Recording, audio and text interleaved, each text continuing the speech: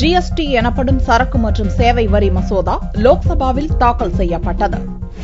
GST எனப்படும் சரக்கு மற்றும் சேவை வரிக்கான அரசியலமைப்பு சட்ட திருத்த மசோதாவை வெள்ளியன்று லோக்சபாவில் நிதியமைச்சர் அருண் ஜேட்லி தாக்கல் செய்தார். தற்போது மத்திய மற்றும் மாநில அரசுகளால் விதிக்கப்பட்டு வரும் பல்வேறு மறைமுக வரிகளுக்கு முடிவு கட்டி தேசிய விற்பனை வரியை அறிமுகப்படுத்துவதற்கு ஜிஎஸ்டி வழிவகை செய்யும். மாநில வரி வருவாயை அபகரிக்கும் என்று பல்வேறு மாநிலங்கள் எதிர்ப்பு தெரிவித்து வந்த நிலையில் அனைத்து மாநிலங்களின் அச்சம் கவலைகள் தீர்க்கப்பட்டு விட்டதாக முன்னதாக ராஜ்யசபாவில் மத்திய நிதியமைச்சர் அருண்ஜேட்லி ஜேட்லி கூறினார் We have made sure that no state will lose a rupee of revenue. It will be a win-win situation where they'll gain revenue. The bill is taken up for discussion, perhaps in the next session.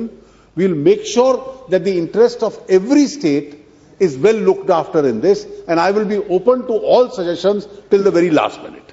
GST மசோதா அரசியலமைப்பு சட்டத்திருத்த மசோதா என்பதால் பார்லிமெண்டில் மூன்றில் இருமடங்கு ஆதரவுடன் ஒப்புதல் அளிக்கப்பட வேண்டும். அதன் பிறகு குறைந்தபட்சம் பதினைந்து மாநில சட்டசபைகள் ஆதரவளிக்க வேண்டும். பிறகே ஜிஎஸ்டி சட்டமாகும். அதன் பிறகு நடக்கும் சரக்குகள் மற்றும் சேவைகள் பரிமாற்றம் அனைத்திற்கும் ஜிஎஸ்டி வரி விதிக்கப்படும். மதுவுக்கு ஜிஎஸ்டி வரி விதிப்பிலிருந்து விலக்கு அளிக்கப்படும். நடப்பு குளிர்கால கூட்டத்தொடர் டிசம்பர் இருபத்தி மூன்றாம் தேதியுடன் முடிவுக்கு வருவதால் பார்லிமெண்டின் அடுத்த கூட்டத்தொடரில் விவாதத்துக்கு எடுத்துக் கொள்ளப்பட உள்ளது மத்திய மாநில அரசுகள் பல்வேறு வரிகளை விதிப்பது முதலீடுகளுக்கு பெரும் தடையாக இருப்பதால் வரி விதிப்பை எளிதாக்க வேண்டும் என உற்பத்தியாளர்களும் முதலீட்டாளர்களும் வலியுறுத்தி வந்ததன் பலனாக தாக்கல் செய்யப்பட்டுள்ள ஜிஎஸ்டி வரியை இரண்டாயிரத்து பதினாறாம் ஆண்டு ஏப்ரல் ஒன்றாம் தேதி முதல் அமல்படுத்த அரசு திட்டமிட்டுள்ளது.